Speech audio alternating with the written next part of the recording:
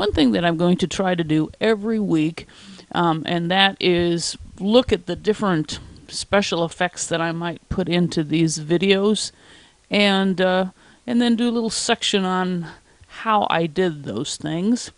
Now, on the video that um, talked about posture, on the five things to help you sing better, um, you probably noticed that it was audio recording and then uh, still pictures. And just to, um, I had a still picture of myself, then of course the demonstration uh, still pictures about how to stand and sit properly. Um, but the pictures of myself, um, I sort of had fun with them, and I want to show you how I did that. I, I took myself and put put myself in other backgrounds. So, first thing I'm going to do here is go to the GIMP. And um, here it says GNU Image Manipulation um, Program. That's actually where GIMP comes from. It's an acronym. There we go. Uh, GIMP is such a great program. It's been a, around a really, really, really, really, really long time.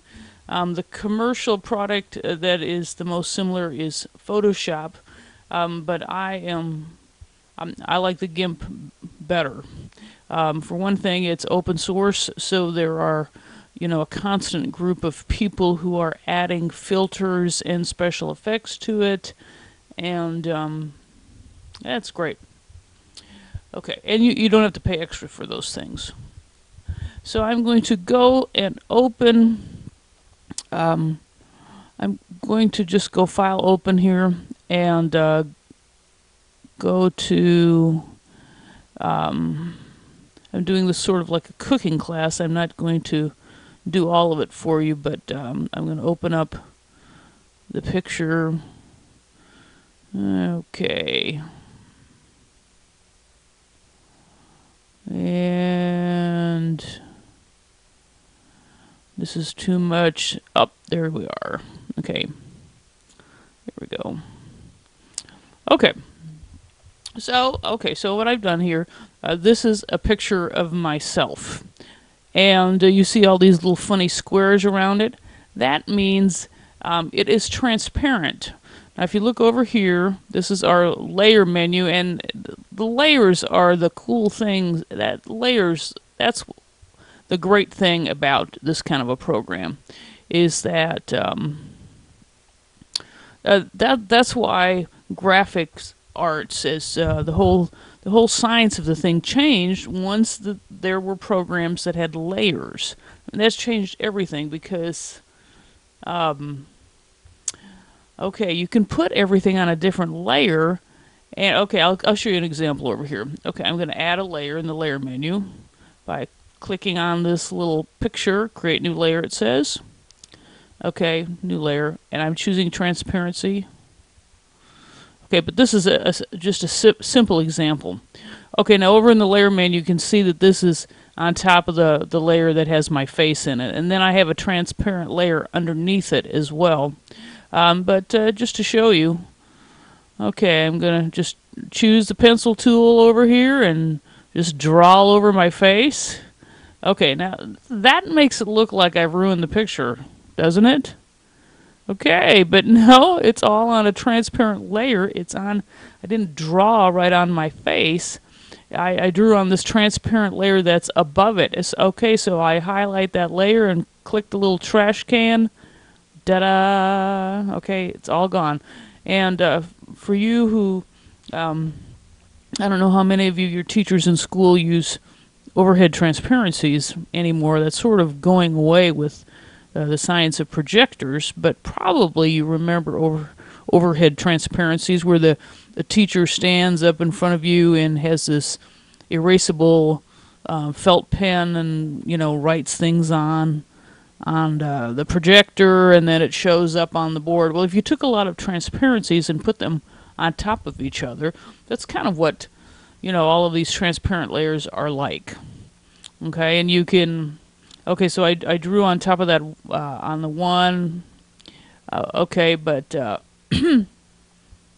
anyway, you can just do so many things. Now, this is actually, this was the base um, for uh, what I use for putting my um, myself on the background. But I I need to open up another picture here so I can show you how did I get this. How did I get the picture like this? This picture of myself where, um, you know, there I am and it's just transparent behind me. Okay. I, I mean, I had to somehow erase all this, but how did I erase it and get it to look that good? Okay, and we're going to use something called the layer mask. Very handy. So let me see. I'm just going to. Oh. okay, I guess I'll take another. Um, okay, so th this is another picture of myself. Okay, let me save. Okay, I'm just going to open that one. Okay, it gives me some odd message. I'm not sure why. Okay, you can see I've messed with the colors, so I, I took these pictures around the same time, um, but I guess I've messed with this one so it looks makes my face look redder.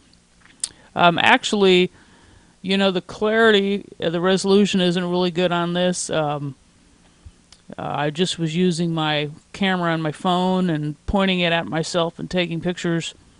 Um, but that is a handy thing about, you know, filters in the GIMP. There's all kinds of, you can blur and sharpen and take out the noise and do all kinds of things. Okay, I'm I want to show you how to um, make it so it's uh, you, you know not not using an eraser. We're not going to use an eraser here. You you could do that, um, but it doesn't come out as nice. We are going to, and I won't be doing the whole thing, but okay. So I'm coming over here in the layer menu. I am going to put a transparent layer and move that underneath.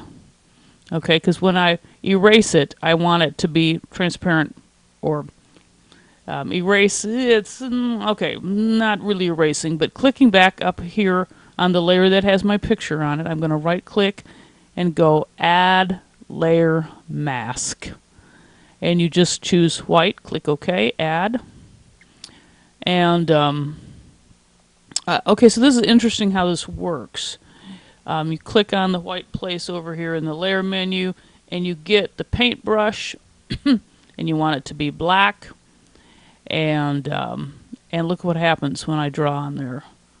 See, but I'm not actually drawing on the face. You see, this is the handy thing about that. I'm going to make this brush a little bit bigger. Um, and over here in paintbrush, move the scale over so it's even a little bigger than that. Okay, and I'm going to erase around my face like that. Okay. See, but if you look over here in the layer menu, you can see I'm not actually erasing the picture. See, the picture is still there. Okay, you can see that it's it's drawing on on this part right here.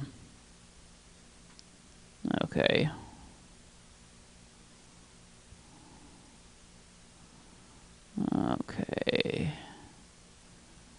And there we go.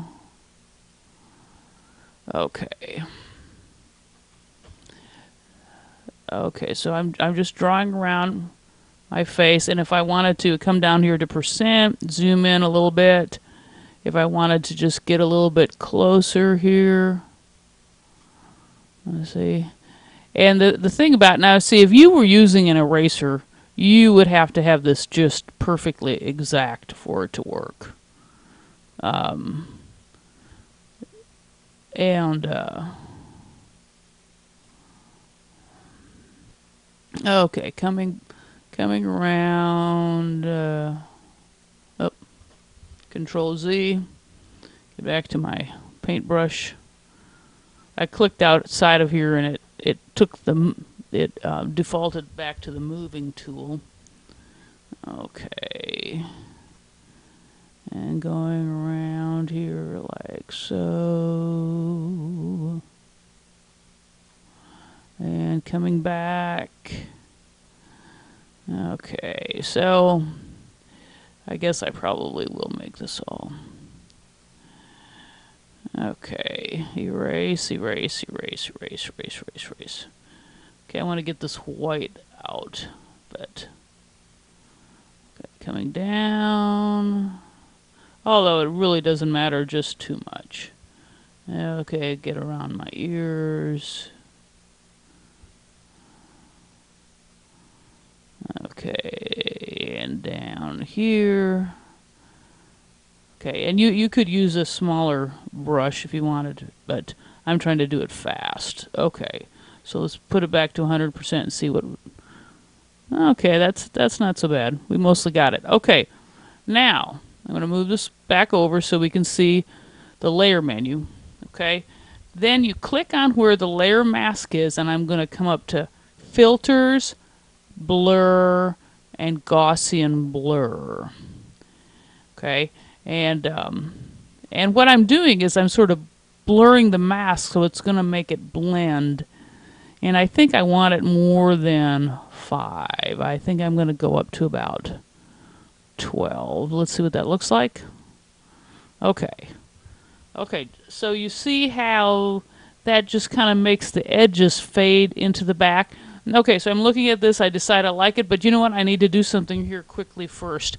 I I still have it as a JPEG. If you look up here, um, I uh, I have not um, done a save as. I need to do that right away um, because a JPEG does not keep layers. So, uh, of course, we use JPEGs for all kinds of things on the internet, and your when you take a picture with your camera, it's probably a JPEG. It's it's just the most commonly used um, graphic format, but it does not maintain layers. And what I am going to do is I'm going to save it in the GIMP. I'm going to go save as. If I just did save, it's, it would still be a JPEG. I'm going to put .xcf, and that is the GIMP native format. Now, um, you know, Photoshop has uh, has its own native format too. Um, I can't even tell you what it is because I haven't used it for many, many years. But anyway, this will maintain all of the layers and it's my working copy. So I'm going to save that. So now, oh, let me see. It says it already exists. Hmm. I'm going to cancel that and uh, change the name uh, to. Okay, I'm going to put add another word in here that describes what I'm doing a little better and save it. There we go. Okay. So now I'm looking at this and okay, so I like this. I like I like what it did. Okay, good. And so I, I decide I want to keep it. I want to keep this. I'm going to I'm going to um, apply layer mask now. And so now they're one. Do you see? Now you have there you have um, I've successfully taken the background out of my picture and then um, okay so you see how I did that and let's come back to the one that I used in the other. I'm just gonna file save now but close this one and come back to this is the one that I used in the video. And um, and so I'm going to just show you how I did that. Um, all I did was put um, I just put backgrounds on this bottom layer. So I'm going to click, highlight the bottom layer, and go File, Open, okay. So, okay, I mean, I really like this this one. I did some tricky things with this one to make it fit too. Okay, this is some little animal.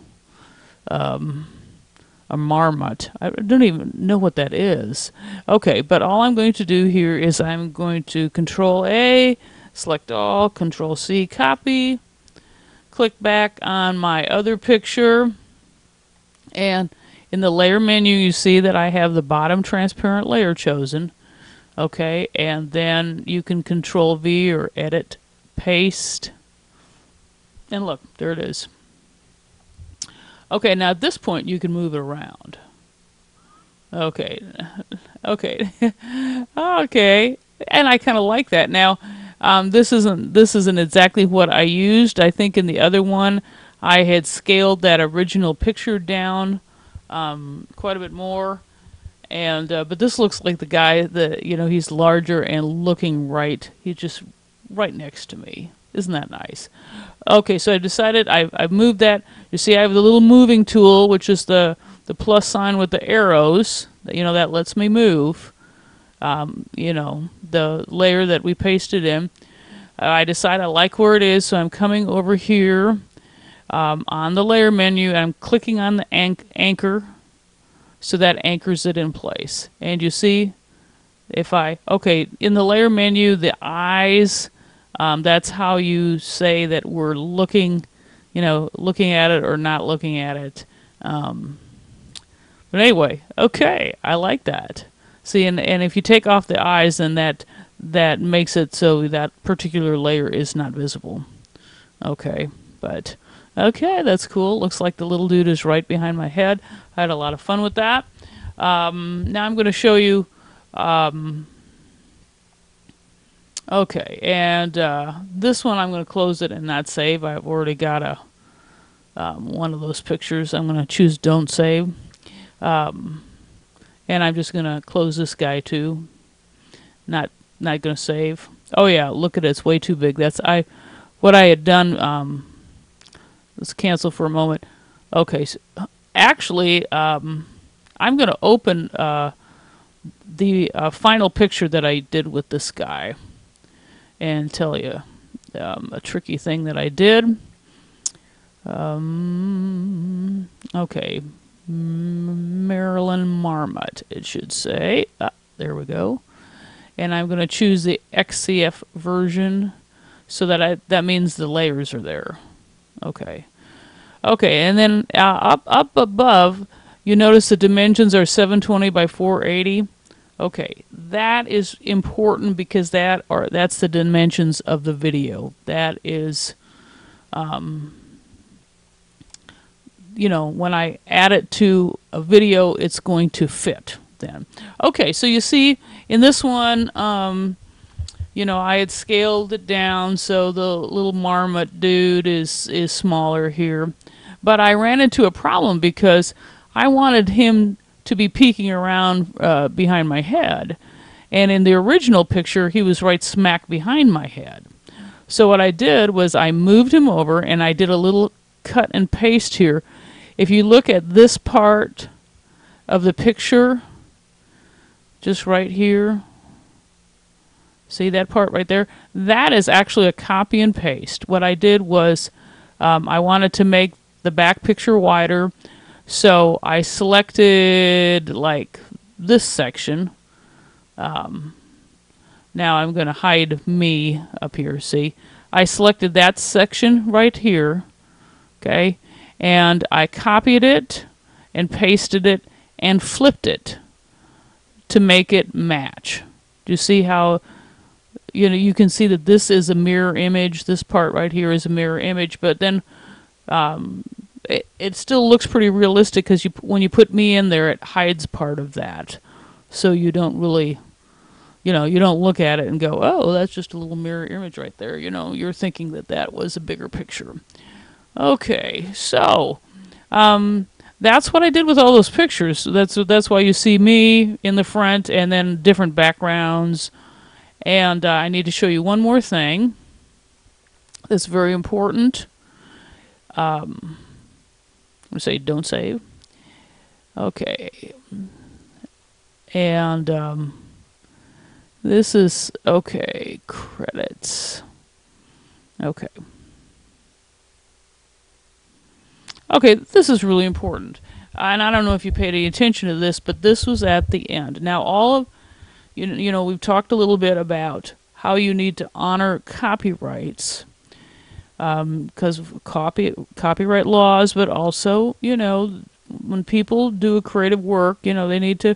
It's just uh, the nice thing to do to give them credit. Now, all of these pictures were on the internet as public domain photos, and that means the people who took the photographs, the people who took the photographs put them on the internet and said, hey, anyone can use these. You can use them for whatever you want. Okay, so they gave everyone permission to use their pictures. But it's still, um, you know, the right thing to do is to give them credit. So all of those different pictures that I used, um, and it gives the site where I found them, and the name of the picture, and then um, the person who took the uh, photograph. You see, so there they are.